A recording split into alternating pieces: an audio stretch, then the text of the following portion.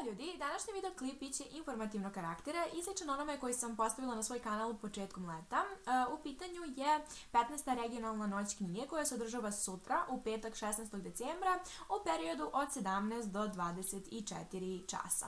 Knjige ćete moći kupiti u svim Delfi knjižarama i laguninim klubovima čitalaca, ali ne samo u Srbiji, već u Bosni i Hercegovini i Crnoj Gori.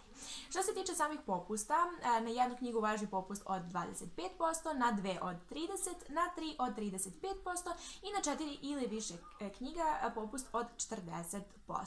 Također, dela od drugih stranih, e, kako i domaćih izdavača, možete ostvariti popust od 20%, a sami artikli iz gift programa su na popustu od 10%. Sve ove popuste možete ostvariti tako što ćete posjetiti knjižare, ali također i preko sajta www.delfi.rs. To su neke osnovne informacije, ako vas još nešto interesuje, možete pratiti link koji sam vam ostavila u opisu i na taj način se više informisati. A mi se vidimo u petak.